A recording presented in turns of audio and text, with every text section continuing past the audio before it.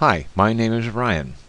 Amateur radio call sign KC0 Quebec and November Bravo. Amateur radio operators use a Maidenhead grid locator system.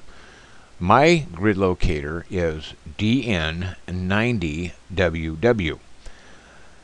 That doesn't mean much to most people. So I went and found this little KML file, a keyhole markup language file, that illustrates QTH locator viewer. Now, I said my location is DN, zoom in to 90, zoom in to WW.